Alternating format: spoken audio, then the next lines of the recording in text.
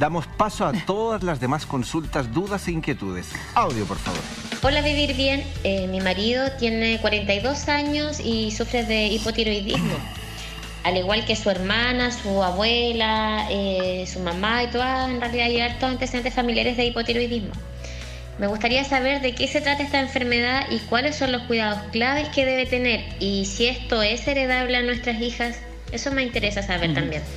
Saludos a la Cata, Ale y Sergio. Cata. Eh, saludos desde la contaminada comuna de Coronel. Muchas Qué amoroso, gracias. saludos, un abrazo gigante. Además, muy buena ella y su pregunta. familia, sí.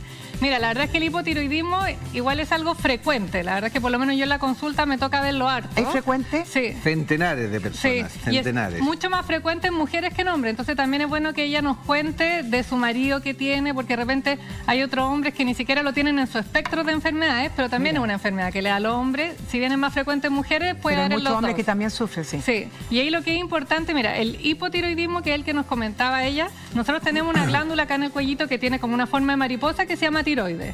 Eh, Esta, la tiroides produce una hormona que es la T4. A mucha gente le ha pasado que le piden en los exámenes Sí. que me dicen, tengo la T4, la T3. T3 y T4. Sí, y hay distintas eh, causas por las cuales tu tiroides puede dejar de funcionar y dejar de producir esta hormona. La principal, que también mucha gente en la casa la habrá escuchado, es la tiroiditis de Hashimoto, que en el fondo es una enfermedad autoinmune que lo que hace el cuerpo es crear eh, un como ataque a nuestra tiroides y por ende la tiroides no puede funcionar bien. ¿Y qué es lo que pasa cuando tenemos hipotiroidismo? Yo siempre le digo a los pacientes como un Garfield, como un motor, o sea, un auto como con poquita benzina, porque anda todo más lento. Nos enlentecemos completamente Claro. y es muy parecido de repente a una depresión. Yo siempre que me llega Sí, un paciente con diagnóstico de depresión, le pido exámenes de tiroides porque también Para es importante asegurarse de que no va diferenciarlo. por ahí. De todas formas, uno anda mucho más lento, uno anda mucho más fatigado, siempre cansado, con Sin pocas energía. ganas de hacer cosas, con la libido mucho más disminuida, con la piel más seca, se te pueden romper la uña, se te puede caer el pelo, subir un poco de peso, pero acá es importante, el hipotiroidismo te puede producir que subas 3, 5 kilitos, no más allá. Si uno tiene una No hay- obesidad no hay de que 20 responsabili- kilos, Exacto. no es la tiroides. No es la responsable. Puede que de repente te haya gatillado la tiroides esto de estar más lenta, no hacer ejercicio, y claro, fuiste subiendo más de peso. Pero en general son como unos 3-5 kilitos asociados al tema del hipotiroidismo. Con esta enfermedad también, porque muchas personas que nos escriben siempre dicen, hago dieta, me alimento sanamente, cambio toda la alimentación. ¿Puede ser que el hipotiroidismo no te permita bajar de peso? Si no está controlado, de todas formas, Claro, si no cuesta mucho ejemplo. más, porque uno tiende bueno, a subir de peso y además a retener más líquido, que también es como un peso extra falso. Entonces, la verdad, hay que controlarlo para poder hacer una dieta.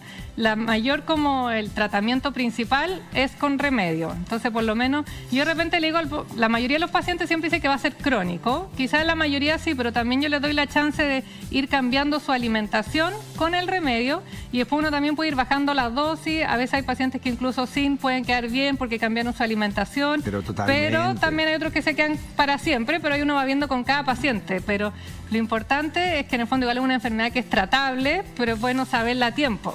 Y para la esposa que está preocupada por el marido, ¿qué, qué recomendaciones les podemos dar para controlar y revertir, por ejemplo, ese hipotiroidismo? Ahí es súper importante lo que hablábamos de la alimentación. Por ejemplo, hay cosas, me quedé pegada con nefasta, la palabra que mandaron antes. nefasta, Es nefasta el, azúcar, por ejemplo, porque eh, la tiroiditis de Hashimoto que produce el hipotiroidismo es una inflamación crónica. Por ende, todo lo que le demos a nuestro claro. cuerpo que inflame más va a producir mucho mayor daño. Entonces, el azúcar es lo principal que yo trataría de dejar afuera y una alimentación rica en fruta y verdura. Hay algunas verduras que en exceso eh, se dejan un poquito de lado en el hipotiroidismo, como por ejemplo el brócoli, coliflor, pero solo en exceso. Pero mientras tenga una alimentación más balanceada, va a andar súper bien. Y comer cosas que también sean antiinflamatorias. Por ejemplo, agregar dentro de su alimentación curry, jengibre, ajo y harto antioxidante. Y lo otro que preguntaba ella que es súper importante era si es genético. Heredable, a eso iba Sí, yo esa ahora. pregunta es muy A importante. eso iba ahí. Mira, no es que uno, si yo tengo hipotiroidismo, mis hijas lo van a tener sí o sí, pero tienen un riesgo que es como hasta 3, 4 veces más elevado que la población general. Ella misma lo decía, que viene de una familia Que tiene que mucho hipotiroidismo. Y es verdad, mucho más frecuente. Por ejemplo, también en familias que son de enfermedades autoinmunes, por ejemplo, familias que hay diabetes tipo 1, que hay lupus, que hay artritis reumatoide, Hay también hay más riesgo de tener hipotiroidismo. Lo que uno puede hacer ahí es más bien como tener una alimentación saludable y obviamente a su hija, eh, después cuando ya el pediatra lo estime, probablemente sobre los 14, 15, de repente se le hacen exámenes anuales como para ir viendo. Y ahí yo siempre les digo, los exámenes anuales no es que uno esté esperando que le dé la enfermedad, porque de repente hay mucha gente que es como pensando ya que le va a dar, y lo ideal es que uno vaya previniendo siempre, cosa que los exámenes sean como tu certificado de bien, voy Claro, bien. claro. Entonces, ma- mantener a su hija haciendo ejercicio, que coman sus por lo menos cinco porciones de fruta, verdura Alimentación al día, saludable. una alimentación saludable, con sus permisos también de repente. Obvio.